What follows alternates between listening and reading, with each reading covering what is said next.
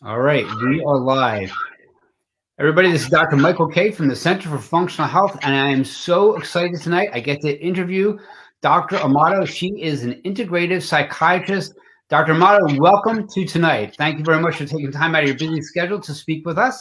So I am looking forward to learning all about how you went from this conventional psychiatry into integrative psychiatry. So if we can start and you can share some of your background, that would be great. Sure. Uh, so I was very traditionally trained. Uh, I attended medical school for four years, and I knew pretty early on in medical school that psychiatry was the field that I wanted to go into. I was just fascinated with the brain. Um, I loved the relationships that I was able to form with patients, and so it really was a natural choice for me. And um, so, following medical school, I did uh, three years of general psychiatry residency um, at a hospital in New York, and I followed that with a two-year child and adolescent psychiatry fellowship. And um, the traditional training really was comprised of a heavy emphasis on use of psychiatric medications um, and also the use of talk therapy. And so when I started in uh, practice about 12 years ago, that was really uh, those were really the tools that I re- relied on very heavily and saw a lot of good results with those for a lot of patients. But um, I went through a really challenging professional experience about six years ago when I lost my first patient to suicide. And that really mm-hmm. made me reevaluate um, just what I was doing, how I was practicing. It made me think of all the other patients I was treating who were really struggling with finding relief from depression and anxiety and other mental health disorders, despite trying sometimes um, five or 10 different medications. And so I started looking into what else was out there that was on the cutting edge of psychiatry and brain health, and also really started looking into more of a functional medicine root cause approach to what was going on that was causing some of these mental health disorders and disrupting people's brain health. Excellent. So when we there's so much depression now, there's so much anxiety now, and for the most part, people, you know, are, are conditioned uh, by the media, by commercials. You know, so you have an issue, just take a pill for it. And right. I know sometimes they say it's easier to write a prescription than it is to treat a patient. But in your setting, you have the, the ability to do both pharmaceutical management and also talk therapy, correct? Yes, yes. Um, and there certainly is a place for pharmaceutical management of some of some of these conditions, especially when people are in a very severe, um, just a, a, very severe depression. Uh, in the case of sometimes suicidal thoughts, uh, there there is certainly a place for the use of medications, but I just think it's so important to be thinking beyond that. And often the medications can help with stabilizing someone or improving their condition to a degree. But then my question is how do we take people from that point of just stability or getting them to the point of being fine, but then helping them go beyond that and really achieve true mental wellness? So, having the patient, you know, commit suicide really, you know, turn corners for you. You really start thinking differently I know in in my field, you know, it's someone's always asking about their musculoskeletal condition, always asking about their gut condition, mm-hmm. what they can do about it, and there's always a family member. So how do you draw the line being psychiatry and dealing with family members? And I'm sure certain family members went through certain conditions that you kind of had to, you know, give your two cents. Mm-hmm. Yeah, and uh, you know the role of family is so critical when people are in um, a very compromised state with their mental health or brain health. It's often difficult for people to muster the energy, the motivation, even the cognitive focus to be able to implement big lifestyle changes um, you know, for some people who are depressed, they're not hardly leaving the house. They're not going to the grocery store to buy healthy food and prepare healthy food. Um, so it can be really important to have supportive family members that are going to be on the journey of healing with that person uh, to help them implement some of these things because it can be really challenging when, when people are, are very down with depression or other conditions. Let's talk about depression and anxiety. And if you can talk about the differences between those, I know for a lot of my female clients, you know, they they have multiple pains. They complain of brain fog. Uh, they have widespread joint pain. They have gut pain. They often end up with their doctors and they get a prescription for an anti-anxiety med, or you must be depressed, or you're hormonal, or you're female. I mean, that I, I've been practicing over 30 years, and that story hasn't changed. Mm-hmm. Unfortunately, I mean, it's really sad. It's the same line. So, can we talk a little bit about the difference between anxiety and depression? And if we can talk about if there's overlaps and how do we recognize that? Right. There are certainly overlaps. Depression and anxiety often run hand in hand. So, when we're talking about depression, common symptoms that run along with that include sleep disturbances, meaning either people have difficulties falling asleep or staying asleep, or they may feel like sleeping excessively. Uh, often they lose, lose interest in the things that they usually enjoy, um, lose motivation to do things. They may have feelings of excessive guilt or worthlessness or hopelessness about the future. Fatigue is very common. Um, most people who are depressed report just having very low energy levels.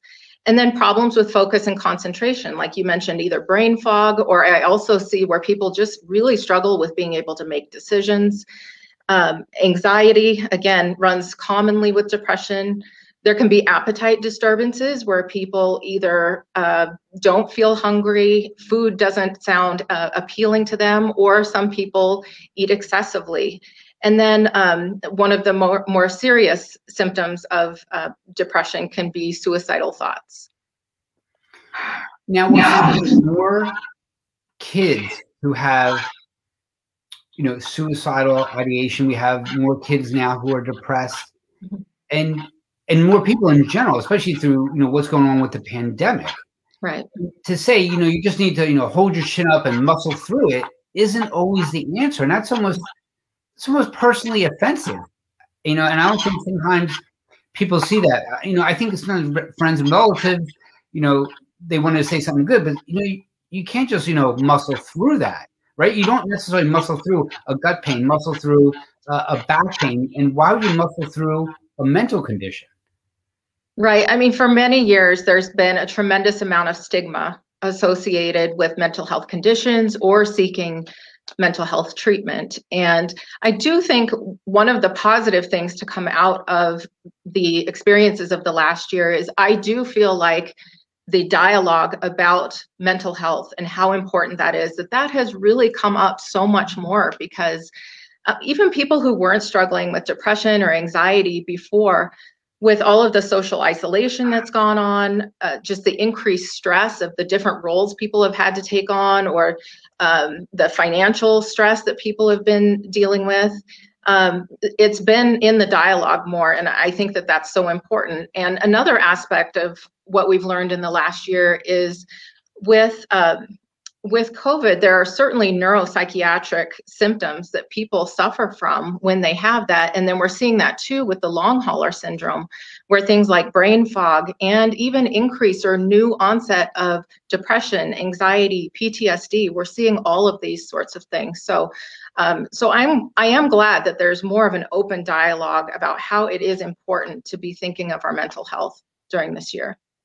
As, as parents, what can parents look for in their children that is their, you know, their warning sign that, you know what, my kid needs some real help? What can they look for?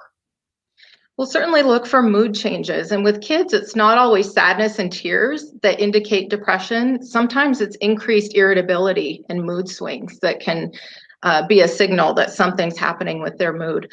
But just like I listed off before that list of common symptoms, I had said um, one thing that's common can be losing interest in things or just not seeming to get pleasure. So if you see that your kids are kind of withdrawing, they're not liking to do activities that they usually do, that they're not engaging with their friends or engaging with the family in the same way, that's important to be looking at, as well as the sleep disturbances.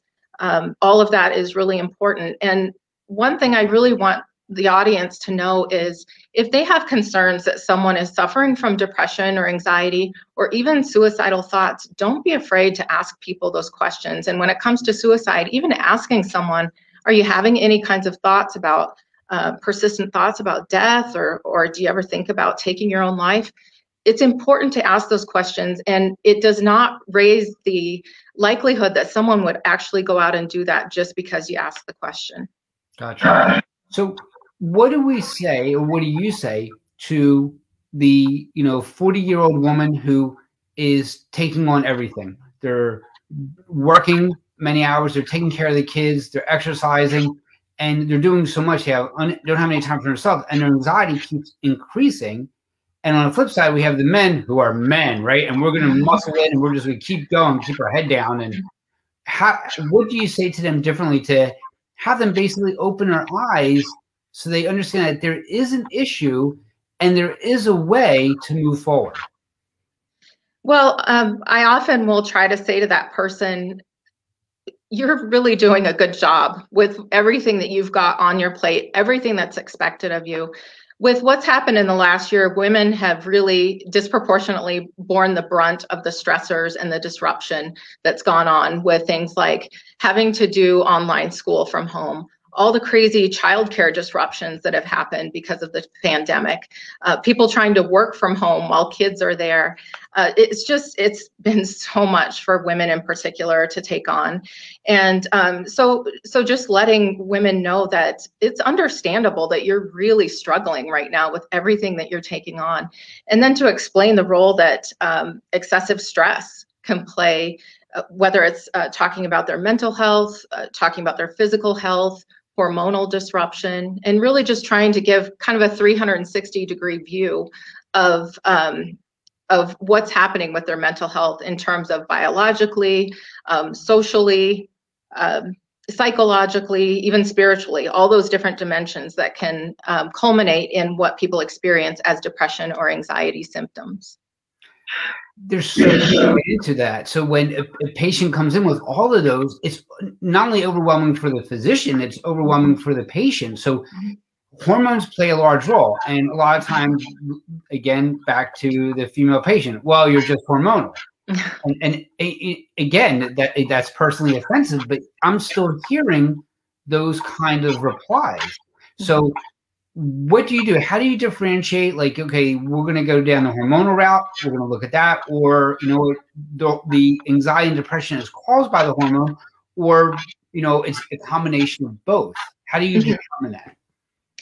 Um, well, I try to I try to explain how those different things could be contributing to what's going on. And one of the first things I like to do is to run some testing uh, because I don't like to make guesses. I like to have objective data. So um, whether it's starting with a comprehensive lab panel that they can have drawn locally, or whether it's then moving on and doing some more advanced testing where maybe we're looking at gut health or maybe we're looking at uh, salivary hormones or things like that. Um, I try to just present uh, a roadmap, if you will, of you know we're going to start here we're going to try these things initially but this is the plan of where we're going and you can't you can't solve everything all at once as much as we all want immediate relief and we want everything all at once it it just doesn't happen that way especially when people have complex mental health, and usually there are physical symptoms um, tied into that as well. So,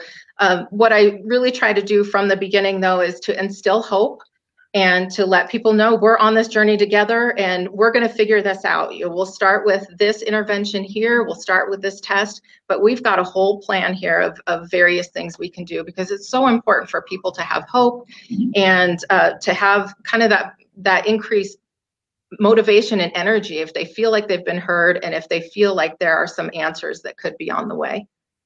So let's talk a little bit about the causes of anxiety and depression. That it's just not all in the brain. That there are many reasons. There could be underlying uh, infections, bacterial infections. It could be mold, Lyme.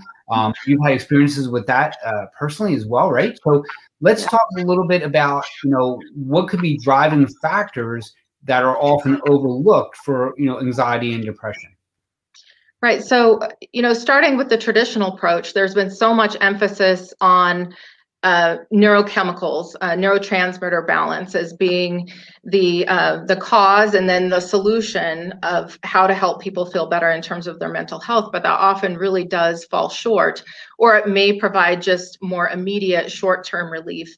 But beyond that, um, there's so much to be said for the gut brain connection. And I think a lot of people don't realize that things like food sensitivities, particularly gluten and dairy for some people, uh, can cause some significant issues with anxiety, insomnia, um, beyond just even the gut issues, skin issues, um, physical symptoms that they can cause.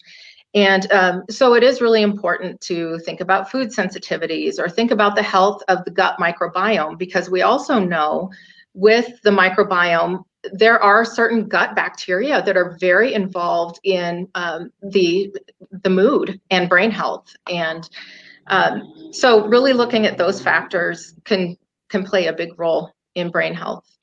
Okay, let's break it down a little bit more and go into the microbiome. You know, this 100 to 300 trillion kind of microbes in our gut. I mean, people hear about microbiome, they're not always sure what it is, and yet here we're talking about how the microbiome, the gut, can play a role in our mental outlook.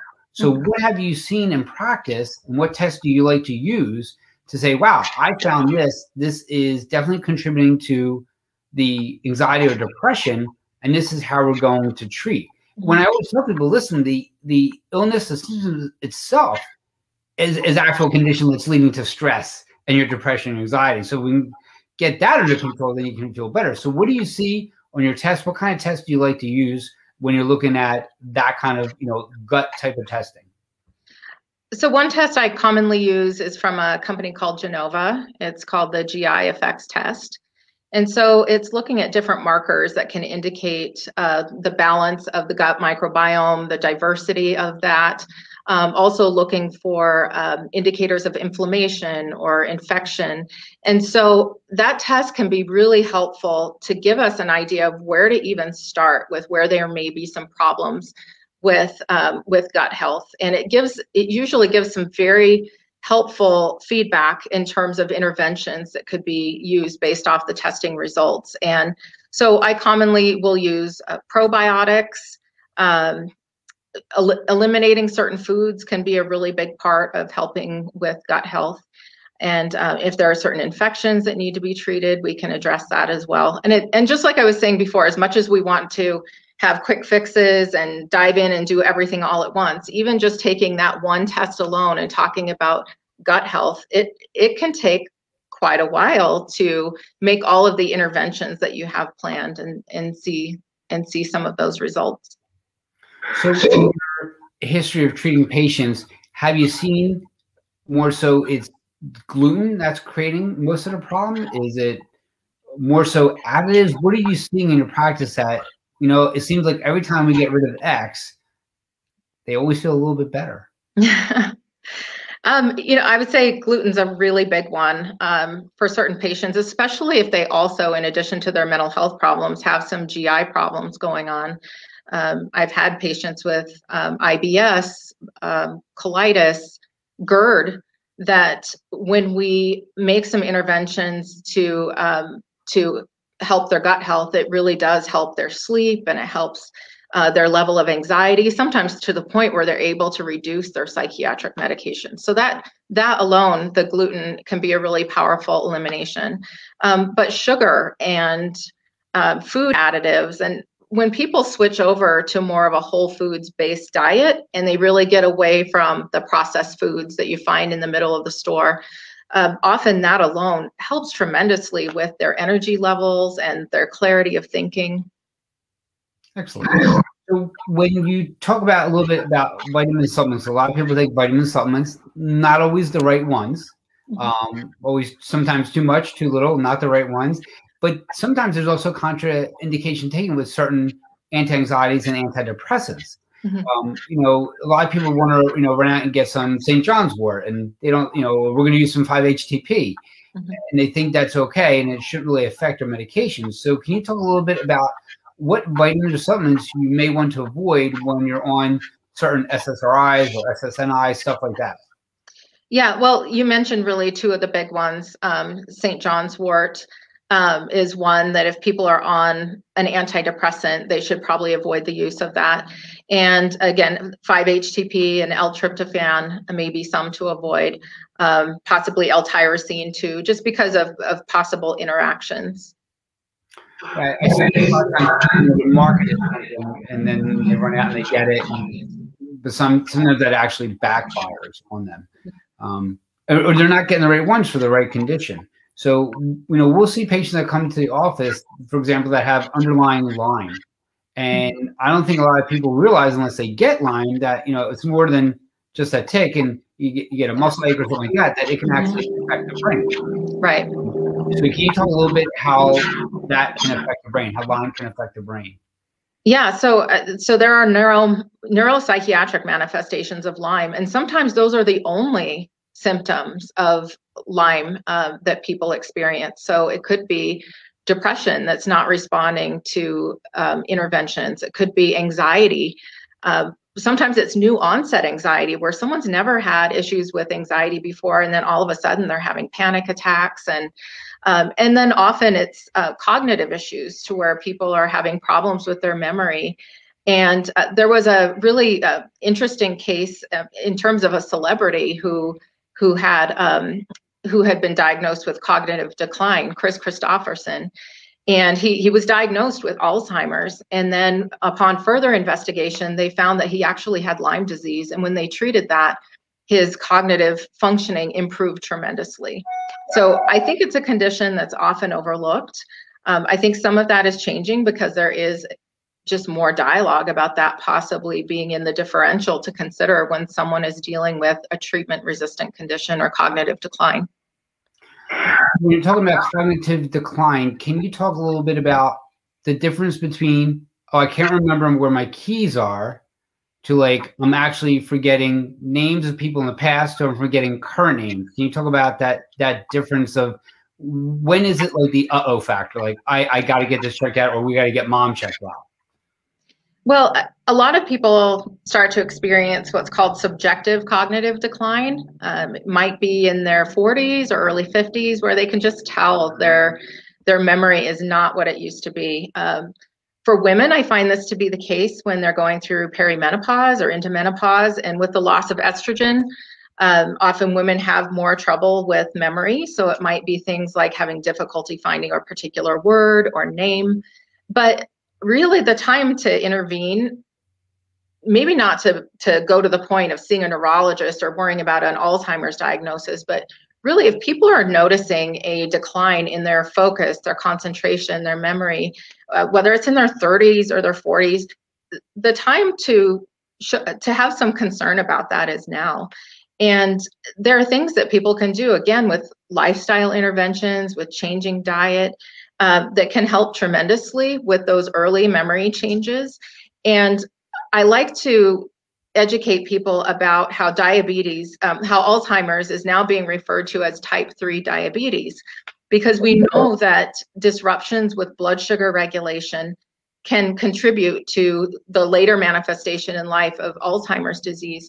But often the changes that are taking place that are affecting the brain are happening decades, two to three decades before people actually manifest with Alzheimer's symptoms.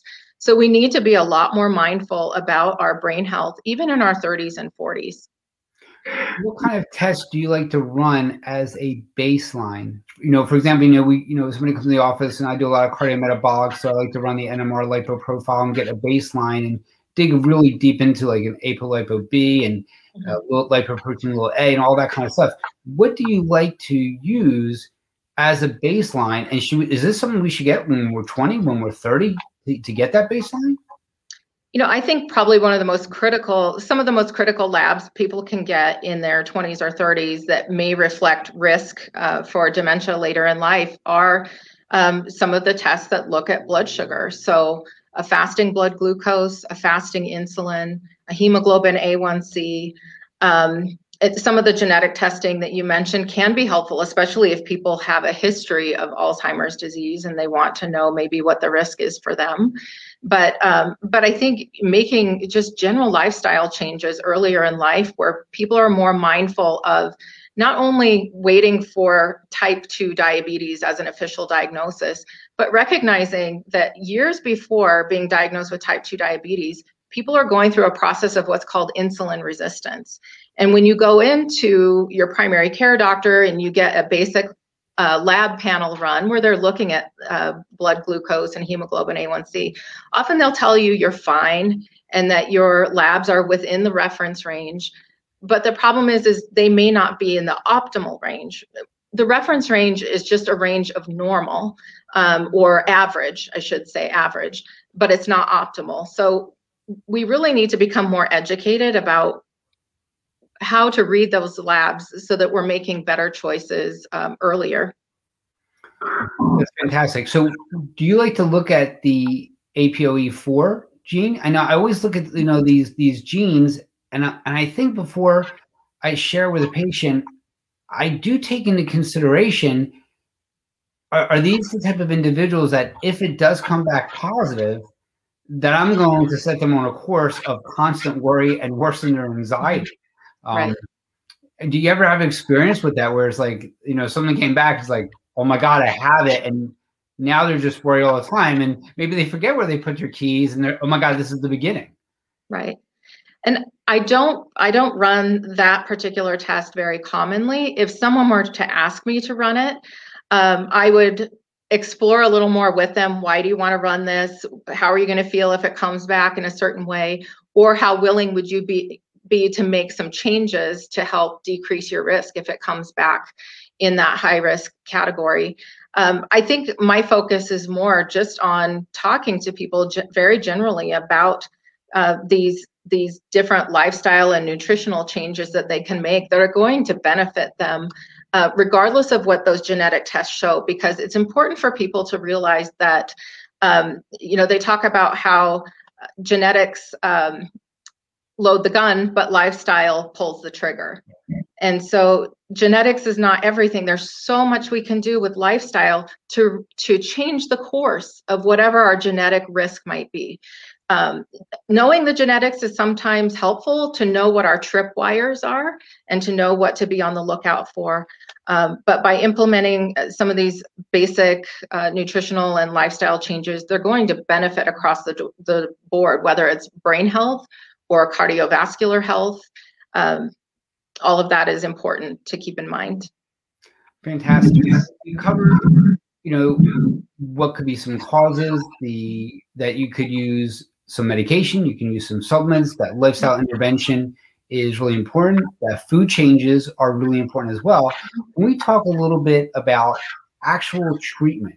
Because you know, when you think about psychiatry, a lot of my patients are still thinking psychiatry of like 30 years ago where they're going to do you know electroshock therapy and all that kind of stuff and you and i briefly talked that you know there actually is a role for that and what i find interesting and i want to learn about tonight is that transcranial magnetic stimulation that you do i, I find that absolutely interesting so if we can look at what that is and how you use it um, and share with our listeners about that and and what do they need to have or present with that the psychiatrist would say, yes, this is what we want to do. And I want to make sure the only one that really does this is the psychiatrist, correct? Uh, correct. Yes. Mm-hmm. Yeah. So um, so after that experience of losing a patient six years ago there were two treatments that i incorporated into my practice that following year and one was tms uh, which stands for transcranial magnetic stimulation and the other was iv ketamine infusions and so tms is um, it's a therapy that was fda cleared in 2008 uh, primarily for treatment resistant depression and uh, since 2008, there have been a couple of other indications that have come about. One is for OCD. And then very recently, one of the TMS devices was approved for smoking cessation. So, um, but I'll speak to the depression protocol more so than the others, just because that's really where I've emphasized my practice more.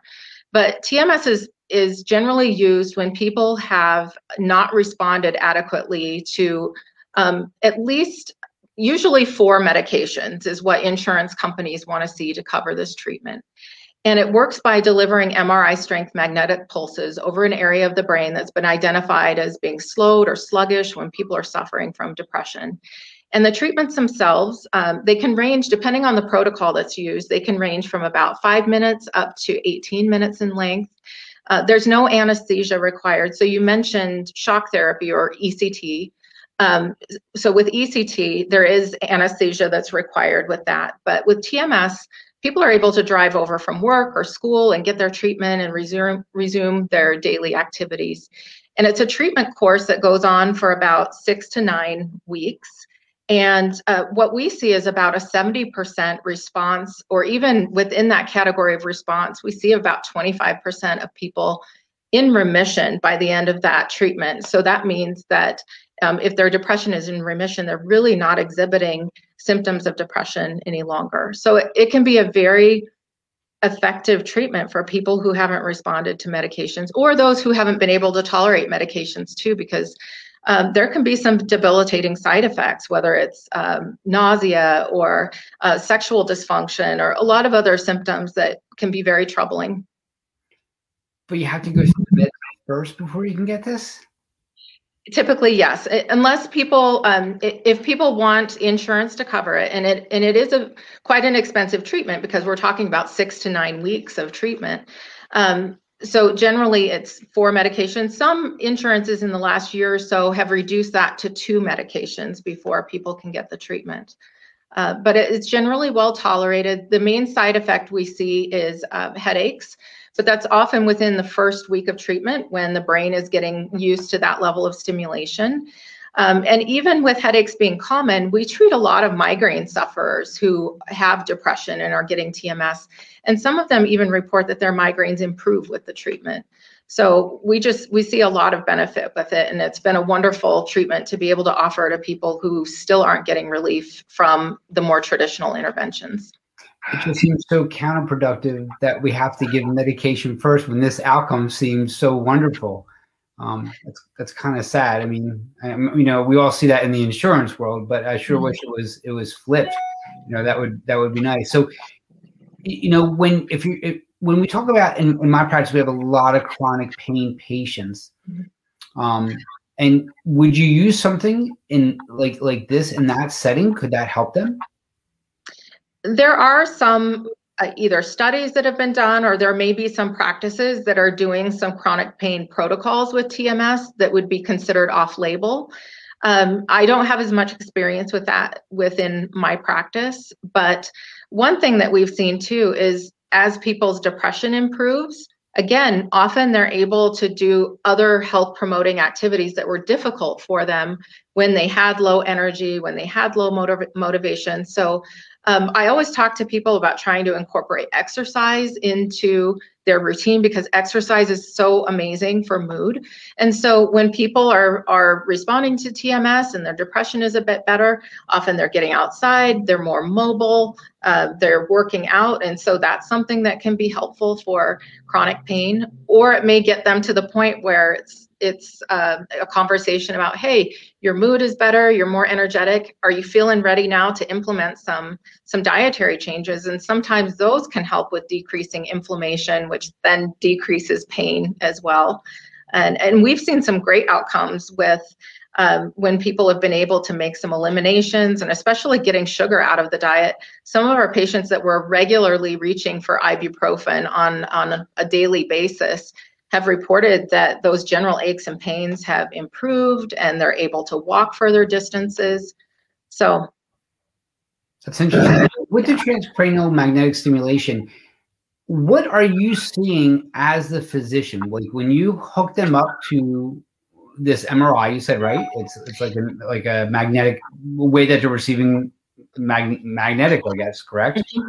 So yeah, it's it's a, it's you, a coil. Um, it's a either what's called a figure eight coil or there's a device where the coil is is within a helmet so it's a it's a more compact sort of setup than thinking about a going into an mri okay mm-hmm. and then is is this like where you do like a you look at a functional and functional mri like pre and post and you can actually see changes in the brain so in clinical practice, we're not there with that sort of technology uh, quite yet. That's something that is done commonly within university settings where they may be doing studies on TMS. Um, but what we do at the beginning of TMS is we use certain measurements and markers to locate the right treatment spot for the patients. And then um, that's basically the spot we come back to every day um, to, to deliver that treatment. I'm fascinated.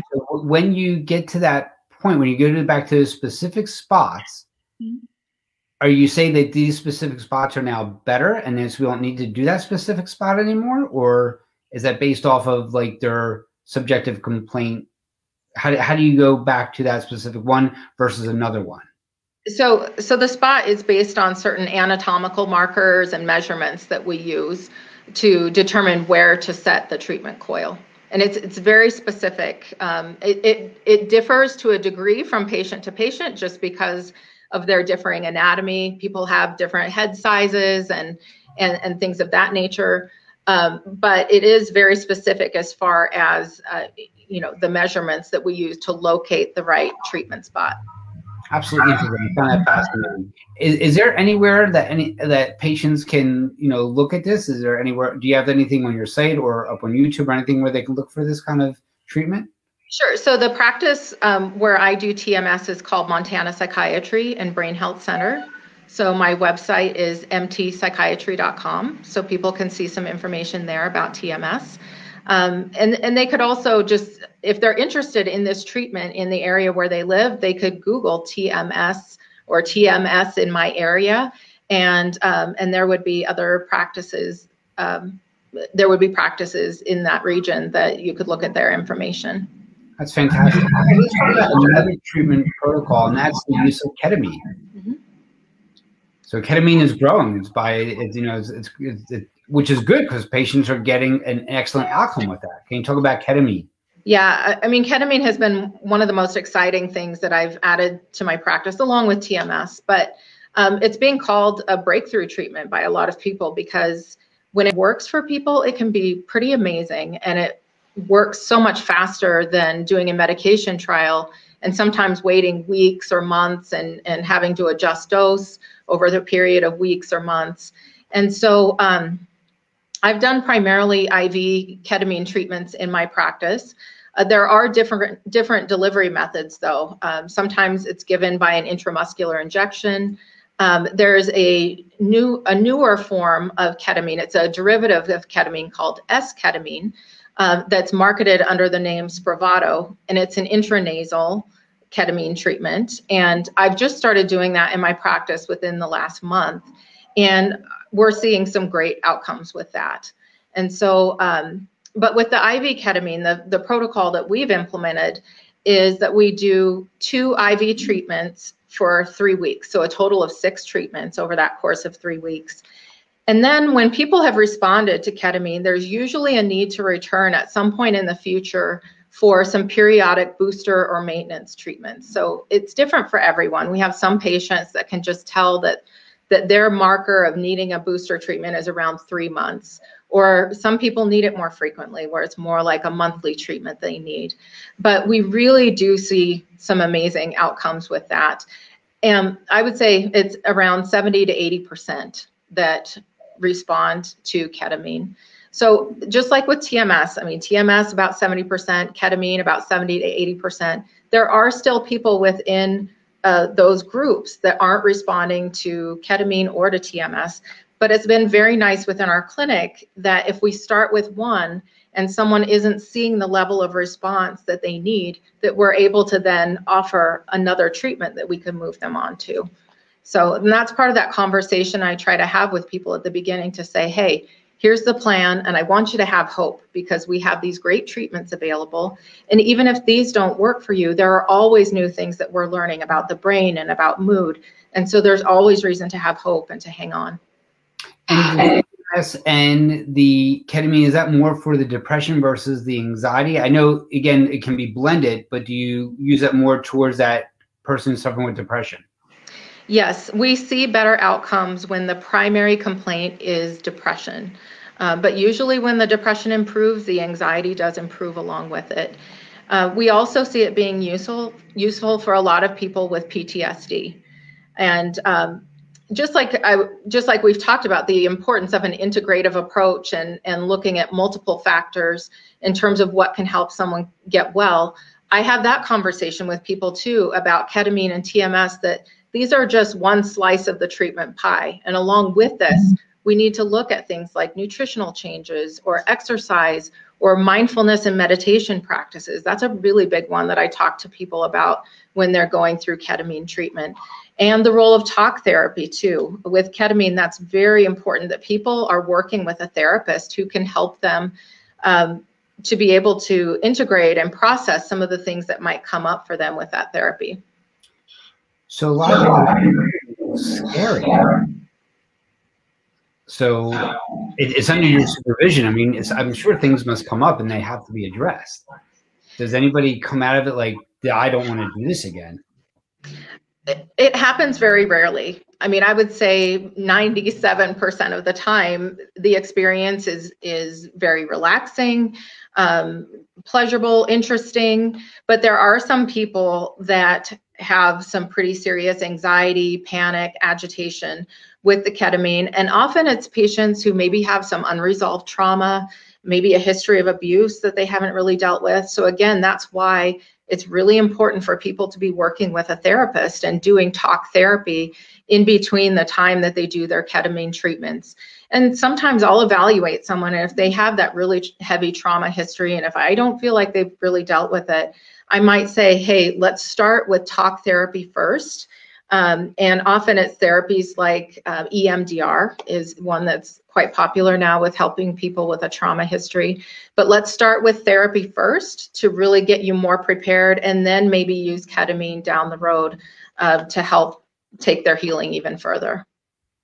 Okay, so can you hear me? Is it it's it's a little bit it's a little bit off. Okay, so let's see if this works. A little bit better back here.